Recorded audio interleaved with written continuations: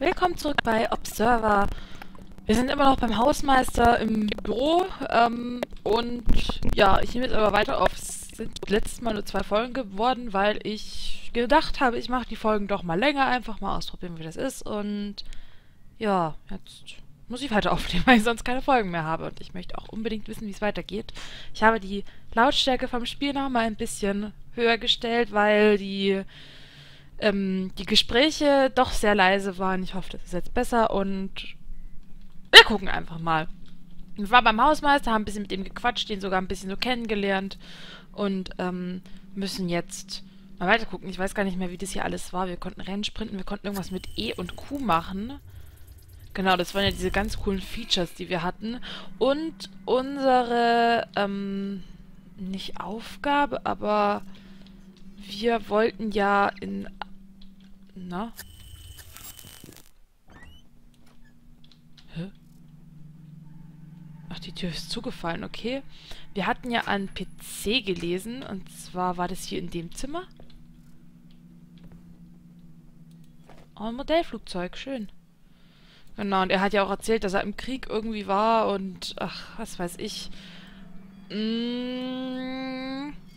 Genau. Wir hatten ja herausgefunden, wer, oder wir hatten nicht ganz herausgefunden, wer HN war, aber wir hatten herausgefunden, dass es da anscheinend zwei Damen gab.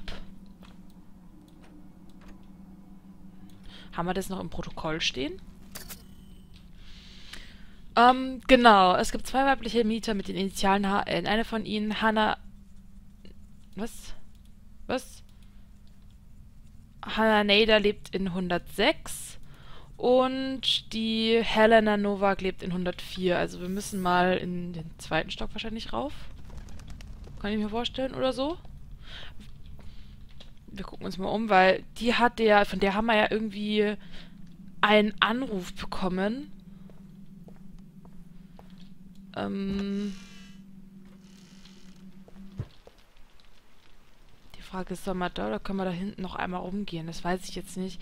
Wir gehen wir versuchen mal da hinten nochmal rumzugehen.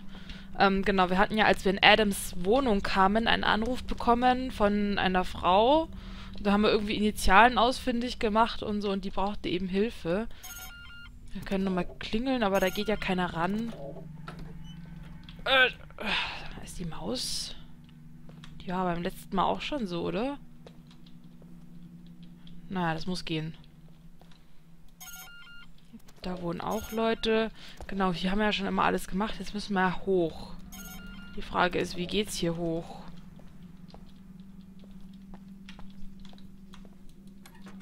Das ist kein Treppenhaus hier, sondern... Und hier sind überall diese Tauben. Okay, ich muss mal kurz mit der Maus was machen. Ähm... Oh, nee, nicht die Tastaturbelegung. Äh, be so, das ist schon besser. Ähm. Nee. Wie kommen wir denn. Warte mal, wie kommen wir denn da rauf? Das muss doch irgendwo. Wir sind hier.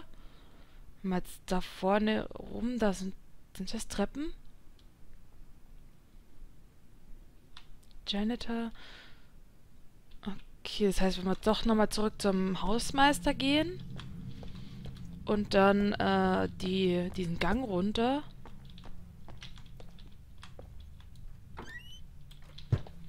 Oh.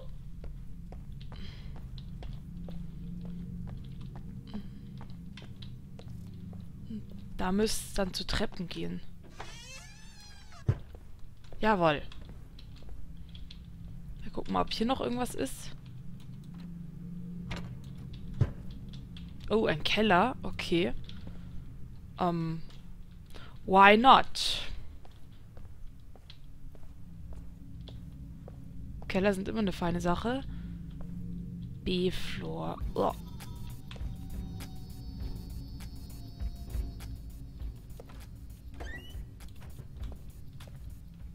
Irgendwie zieht's gerade. Was? Ähm, okay.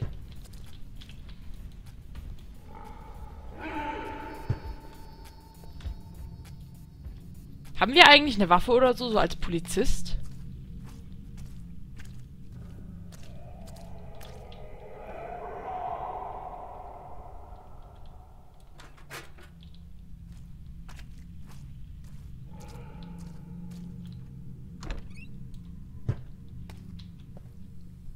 Okay, jetzt mal eine andere Aufgabe. Diese Geräusche sind eine Rose. A real deal.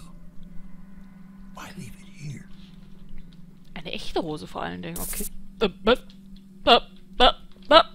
Ich bin schon still. Okay, wir gehen rauf. Keller ist doof. Sehe ich ein. Okay, und dann gehen wir mal nach oben. Wir wollen ja zu den beiden Damen. Genau, 104 und 106. 105 bis 114. Wir gehen erstmal dahin. Wieder ein Scheißhaus. Hey, yo! I can hear you out there. Help me, please. Was? Vorname Joanna nach einer Madura. Äh, weiblich, arbeitslos, Klasse C. Klassifiziert, äh, okay. Auf der ist 30, okay. Würde ich jetzt auch holen, okay. Okay. Gut, Spiegel ist abgehängt. Ugh. Dann hat gerade irgendeiner nach Hilfe geschrien. Kam es von da oben? Hm, werden wir schon rausfinden. Hier ist 101. Was ist das denn? Da ist ein Auge. Oh, I heard this awful noise. What's going on? There's been a lockdown. A lockdown? No. Oh God, please, not today. Heute? Haben Sie Schmerzen? Haben Sie Are you okay? Sounds like you're in pain. Oh, it's fine. I'm just. I got a, a condition. I'm, I'm waiting to have it fixed. Anything I can do? Sure, if you're an expert in corrective surgery. Heute. Was war denn heute? Well, what's so special about today? I was scheduled to undergo a, a medical procedure. It's a private matter. I'd, I'd, I'd rather not talk about it. Suit yourself. Okay. Sir, I'm wondering if you've seen anything suspicious lately. I haven't seen anything in over 40 years. Ah, that's your condition. I, I, I- I really don't feel comfortable talking about it. Fine, I won't waste your time then. Eh, Wait, I did hear something. Quiet footsteps, deliberate, heavy breathing, angry, not hiding, hunting. Hmm. Anything else? The smell, it seemed uh, oddly familiar. Reminded me of my childhood. Your child? Yes, my family lived outside the city with all manner of creatures. When it would rain, the smell would be similar. Hm. Also er hat was gehört. Vielleicht ist selber was wieder unten gehört. Im Keller war jetzt irgendwie sowas. Es hat so wie so ein, ja, Monsterwesen. Also es hat nicht menschlich geklungen. Cassandra, du bist es wert. Eine neue Re revolutionäre... Ich wollte das gerade lesen. Ah, keine Sorge, deine Daten sind in guten Händen.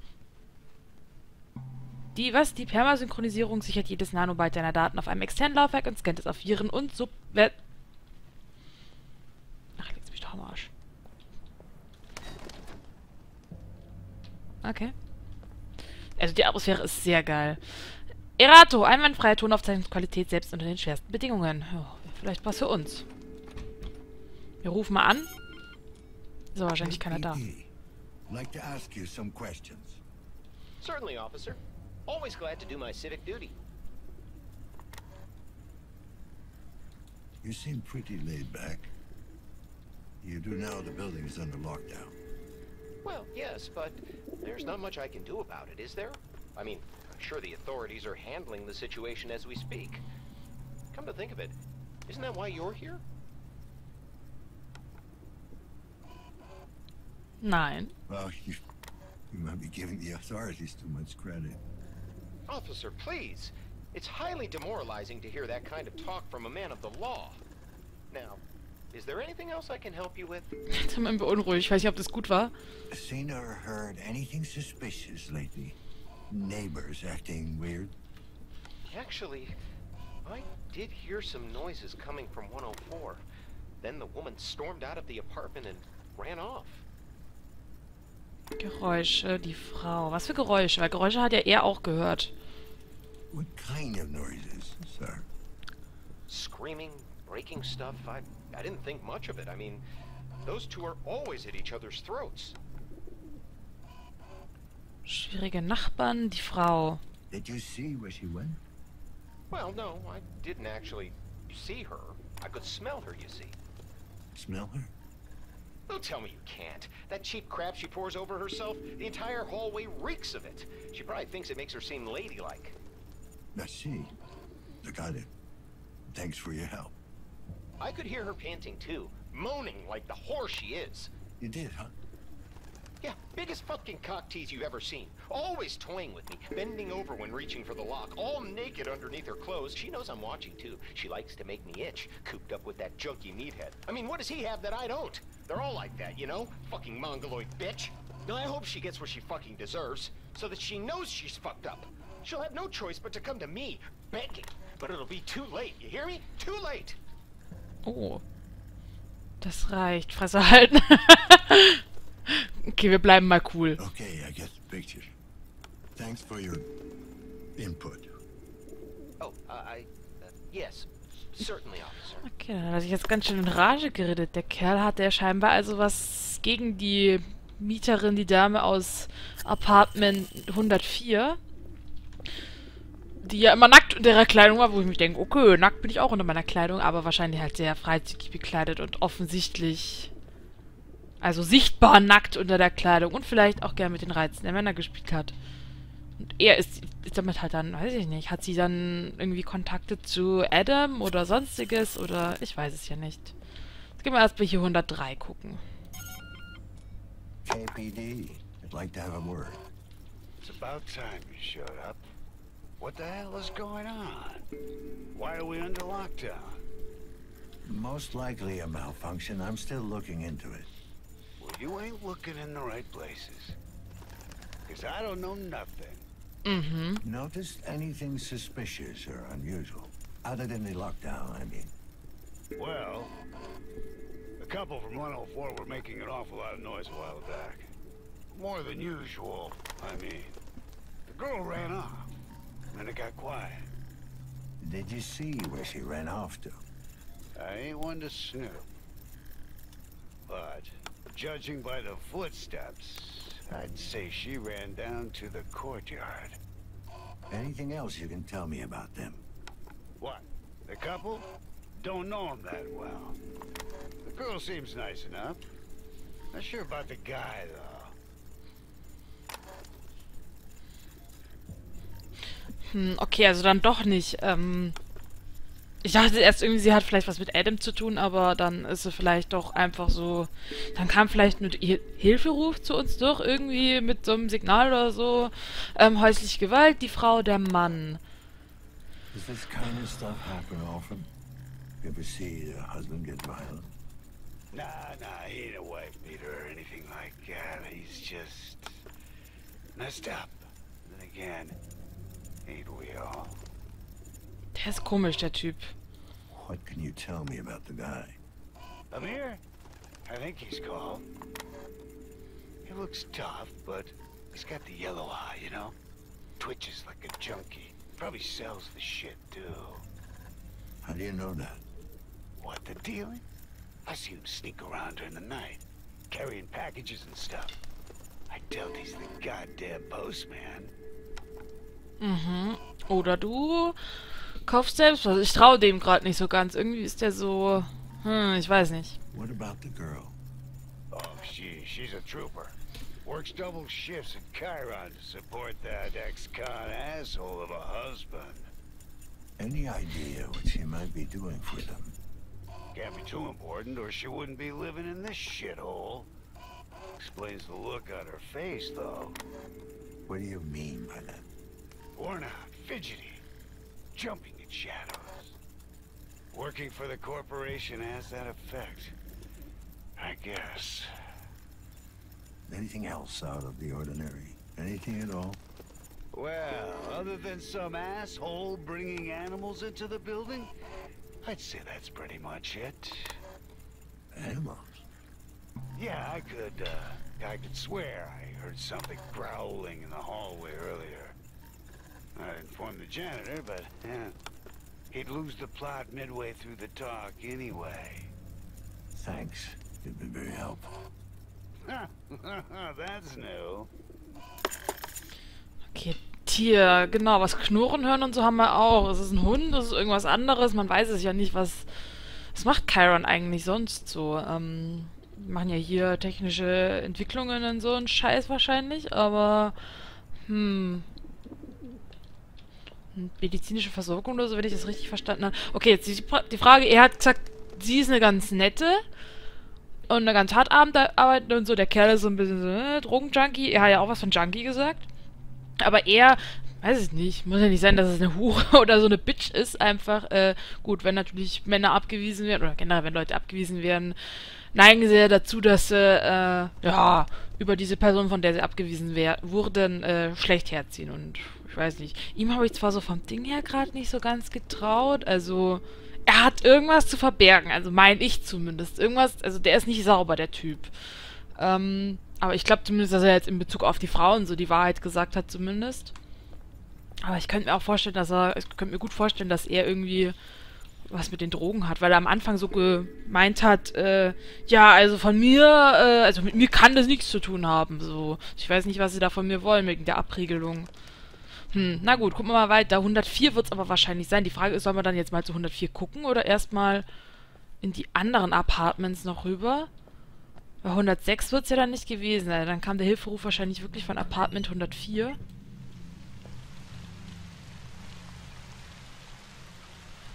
Und dann guck mal hier mal. Okay, und hier sind überall so Löcher.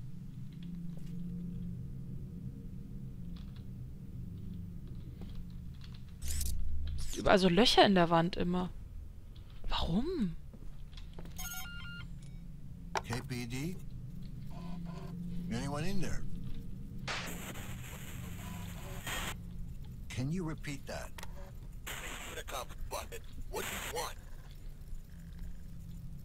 Abriegelung, was Verdächtiges gesehen. Wir fragen jetzt mal nach dem Verdächtigen. You noticed anything suspicious recently? Anything out of the ordinary? What? I don't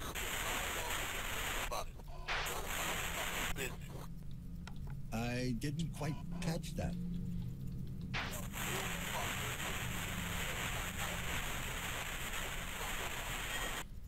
Fine. You've been very helpful. Good night. Okay, das hilft auch nichts. Na gut, okay, aber... Naja, ähm, 106... Miss Nader? I'm with the KPD. Mind if I ask you a few questions? Mrs. Excuse me? Mrs. Nader. All right. Uh, Mrs. Nader. What do you want? Okay, sie ist verheiratet. Der Anruf ist alles in Ordnung. Ähm, der Anruf. Have you made any calls in the last hour? No, I have not. Could you check your compass for connections? Somebody may have used it as a proxy. I don't have a compass. Ist alles in Ordnung? Ja, die wirkt komisch. Is everything all right in there? Are you in some kind of danger? You tell me, officer. I heard the alarms go off. Are the cleaners on their way? Are any of us safe? The lockdown seems to be a malfunction. I don't think we're looking at an outbreak here. Well, I'm sure the other tenants will be glad to hear that. Und but sie not nicht. you? No, officer, not me. Warum nicht? Kein Kompass. No compass. I thought pretty much everyone had one at this point. Well, you thought wrong. I don't have any implants of any kind. Okay, dann ist sie wahrscheinlich so ein bisschen anti-Chiron und alles und haltet sich da so weitgehend raus. If you don't mind my asking, do you live alone? Yes, I do mind, and yes, I live alone. No spouse or daughter? Didn't you hear me? I said it was just me. Ja. Then why did you insist on being called Mrs.? Hm. I'm a widow. My wife died many years ago. In the plague. Oh. Okay, interessant. Hat man auch nicht oft, dass Entwickler an sowas denken. Sorry to hear that. Is that why you don't have any implants? Yes. Want to see the scar tissue on my face and neck? It's quite an embroidery. The little monsters really outdid themselves. Or do I have to show you what's left of my arm? Would that satisfy your curiosity? Mrs. Nader, I'm just doing my job. Yes, I've heard that one before. When the cleaners took my Laura away. One of them turned to me and said precisely that. I never saw her again. Not even the body. It's like she never existed. Ja, die ist voll zickig gerade. Ich meine, auch wenn man schlechtes Doch gemacht hat. Ah, Mann. With all due respect, ma'am, you're not the only one who lost someone to the Phage. God knows I have no love for Chiron, but they're an easy target. Is this when you tell me how we're all to blame? That's not what I... That we brought it upon ourselves? Ma'am, That we deserved the phage? Deserved to see our loved ones die? Didn't we? We jumped at the opportunity to meddle with our bodies, but we didn't ask ourselves what the price would be. Very inspiring, officer. And very hypocritical. Spare me the lecture. I will not be judged by some corporate goon. I wish you a good night. So long, Mrs. Nader. Helena Novak it is. Ja, gut. Was eine Zicke, Alter. Also echt mal. Boah, die Alte. Das gibt's ja gar nicht. Wie zickig kann man sein? Ich meine, ja, sie hat jemanden verloren, und aber dann kommt man und fragt und es sind immer diese Leute, die so mega. Boah. Ah. Hello? Anyone in there? Yes? I'm with the KPD. Need to ask you some questions. Oh, and who's your friend? Friend? It's just me, ma'am. Oh, I have to go now. Ähm, Already. unser Freund? Sieht die Geister? Okay. Ähm, da würde ich jetzt versuchen reinzukommen. Das ist mir nicht so ganz geheuer. Also ich als Polizist wäre jetzt alarmiert, wenn die auf einmal so... Äh! Okay. Also hier oben sind schon viele Leute unterwegs. Das ist ja krass, aber... Ach Mann, ey. Die Zicke, ne? Die alte, die, die, die geht mir gerade nicht mehr aus dem Kopf. Die war ja scheiße nervig. Und kacken unhöflich. So richtig überheblich, als ob wir jetzt ein schlechter Mensch wären, nur weil wir halt vom KPD sind.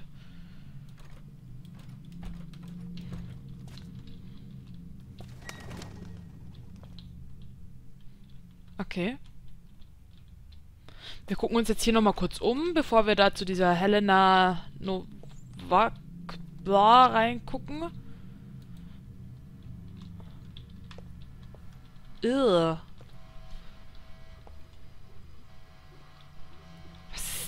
Denn? Okay. Ich meine, ja, irgendwo hat er ja, was heißt recht, aber wir geben, die Leute haben sich ja schon Mühe gegeben, dass sie halt in sonstigen Verhältnissen leben und schön schmutzig und so. Also, wenn man will, dann kann man auch auch sauber halten. Ist das gerade mit Absicht so, Chris? Ich glaube, ich sollte mal wieder ähm, nehmen, oder? Ich glaube, das ist jetzt sein Stresslevel, kann das sein? Oh ja, das war jetzt sein Belastungslevel wahrscheinlich. Das war schon wieder zu hoch. Okay.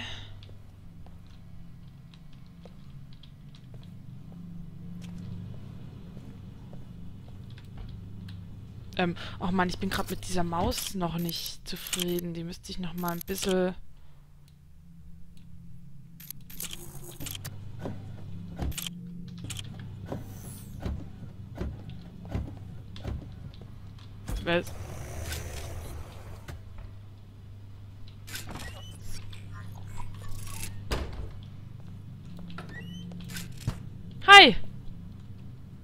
Okay, danke schön.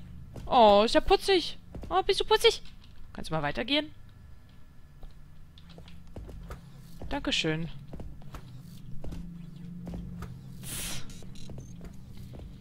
Okay. Dan Lazarski, KPD. Routine questioning. Daddy, who is it? Can he make the door open? When can we go out, Daddy? Shh. Go to your room, kids. Go play Runaway Galaxy. Let me talk to the man. Hello, officer. I'm Thaddeus Karski, head of the family. How can I help you? Oh man, voll süß. Everything all right in there? Did the lockdown spook the kids? Oh, no, we're fine. I do appreciate your concern, though. You sound very calm. You're not worried about a potential outbreak? Oh, that doesn't concern us, officer. Of course, I hope that's not the case, for the sake of the other tenants. What do you mean, it doesn't concern you? We're all clean of corruption. My wife, myself, and the little ones. Clean. Of... Oh. You're immaculates. Children of the Immaculate Birth, yes. You've heard of us. All good things, I hope. Die Unbefleckten, okay, ich habe noch nichts davon gehört, aber... Aber wenn er das halt sagt, ich versuche halt ein bisschen in Character zu bleiben. Ich gehe jetzt mal nicht von mir aus, sondern ich versuche mich immer so ein bisschen in den Charakter natürlich auch reinzuversetzen. Er hätte es jetzt nicht gesagt, wenn er es nicht wüsste. Well, I've never been called to a crime scene where one of your kind was involved. That's good enough for me. Our kind? I see. Do you take offense to our way of life, Officer Lazarski? No, but it must be hard on the whole family. No one said life would be easy. Unbefleckt, was ist denn unbefleckt? Das möchte ich jetzt wissen. Well, I'd have to say, no mods of any kind. That's quite a statement these days. Is it really? Is having a neural connection to the web worth renouncing your humanity? Is a body held together with screws and wires really worth a corrupted soul? Some would say there are benefits. Certainly. I know our lives will be shorter and less comfortable. But it's a price we're willing to pay for experiencing the purity of our God-given bodies. Don't get me wrong, I'm not a big fan of implants, but I couldn't do what I do without them. Yes, you carry them within you. It wasn't really a choice, you know? Oh, but clearly it was. The world would be a better place if more people realized that. Nicht zu überheblich, ich stimme zu. Ähm, ja, toll. Okay, also es sind Leute, die diese ganzen Implantate und so ablehnen und so. Und halt die Unbefleckten so ganz menschlich geblieben sind. Der ist halt gerade so, ähm, ja, du bist ja auch dran schuld, wenn du solche Sachen benutzt. Ich verstehe warum kann man nicht mal jemanden treffen, der vielleicht tolerant ist? Weißt du, der sagt, ich bin da nicht für, aber mein Gott, dann machen sie es halt. Okay, aber wir wollen mal sein Vertrauen gewinnen. Yeah, guess you're right. Maybe we are what we make ourselves. I don't wish to speak out of turn, but our church has a support group for the penitent unclean. Perhaps you'd like to attend a meeting? Sounds like a hoot and a half. Thanks for inviting me. Yes, well, once you get past the name, you'll find a lot of compassion and understanding there. Okay, also, okay, ich glaube, das war jetzt gerade das Falsche, ähm, das zu wählen, verdammt. Ähm, ja, die sind so ein bisschen Hardcore eigentlich, fast schon, dieses, äh, und Befleckte, weil unbefleckt und Befleckte, das klingt schon wieder so, oh, für mich, ich weiß nicht. Als ob wir jetzt irgendwie büßen würden, klar. Es ist halt dieses Thema, was ist natürlich, es ist natürlich nicht natürlich, an sich rumzubasteln. Ich weiß auch nicht, ob ich das machen wollen würde, nur wegen äh, besserer Gesundheit oder so, aber wenn man hier so sieht, das muss ja auch alles gewartet werden und so, dass da dann auch so Krankheiten ausbrechen können. Also das ist ja nicht perfekt und ich weiß nicht, ob das dann so toll ist, wenn man dann sowieso wieder von so einer großen Firma abhängig ist. Aber es ist wie alles so, allen Leuten zu sagen, die sowas haben, automatisch als schlechte Menschen abzustempeln, das finde ich einfach, das finde ich einfach ungerecht. Also es ist wie heute so ein bisschen, wenn man mal das Beispiel, keine Ahnung, wenn man das Beispiel Technik nimmt, wenn es dann wirklich Leute gibt, die sagen, ich lebe nicht mit dieser, ich kann ohne diese Technik leben, ich kann ohne ein Smartphone leben und alle Leute, die das benutzen, sind sowieso doof. Ich mag sowas, dieses ah, alles, was ich, was die anderen machen, nicht machen, was ich aber gut finde und mache, das ist doof. Und naja. Gut, dann fragt man mal nach der verdächtigen Aktivität. Listen, have you seen anything questionable going on around? Apart from the usual, you mean? The usual? Well, you know, this place isn't exactly a beacon of morality. Still, we mustn't judge. Most people mean well. They're just misguided. All right, if you say so, Mr. Karski. Godspeed, Officer Lazarski. Okay, der hat auch so ein bisschen an der Klatsche. Meine Güte. Okay. Dann gucken wir mal in Richtung... Hier noch. 105 bis 110. Da waren wir gerade genau. Dann gucken wir da noch hin. Ups, ich finde auch cool mit dem Schatten und all. Ah, ich liebe dieses Spiel, ist so geil gemacht. Was? Was war das jetzt gerade? Irgendwas stimmt hier nicht. Und hier oben sind so viele daheim, unten war fast niemand und hier sind so viele daheim. Ich bin überrascht. Wow!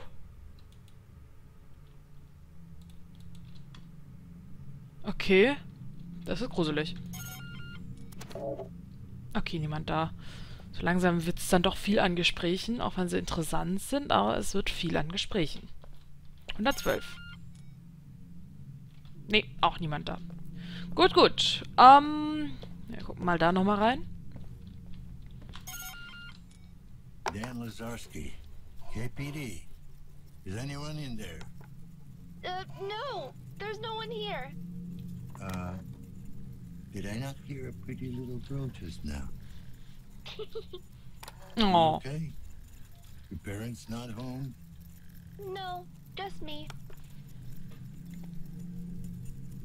Oh Mann. Okay, ein kleines Mädchen also. Wie heißt sie denn? Wir fragen mal. Äh, äh. What's your name? Paulina, and you're Dan, That's right. How old are you, Polina? 34. Nine, you silly. okay. Mit Kindern muss man mal anders. Mit Kindern... ne, so. So you're all alone? Yes. Well. I'm playing with Pieta. Your little sister? No, she's my friend, silly. From school. no, she's a special friend. Only I can see her. Ah, that kind of friend. I had an invisible friend too when I was your age. Called him Tom. Pieta thinks you're full of shit. Are you upset? Will you be all right? I'm I'm scared. The lights went out. It's just a power outage. Um, uh, the building's not feeling well. No! Something is happening. I feel weird. Paulina, Stop it! I can't! It won't let me out. what's going on in there? 1074. 1074. Okay. Irgendwas stimmt da nicht. Durchsuche die andere Wohnung. Das Mädchen von 113 ist irgendwie eigenartig. 1074 könnte der Code für eine andere Wohnung sein, aber für welche? Meine forensische Sicht könnte mir hier von Nutzen sein. Alter, ich würde jetzt aber erstmal versuchen, da reinzukommen. Also, wenn da so ein kleines Mädchen auf einmal solche Sachen sagt, das würde mir echt zu denken geben als Polizist. Die forensische Sicht war die da? Oder die? Welche war die forensische Sicht? Ich glaube die hier.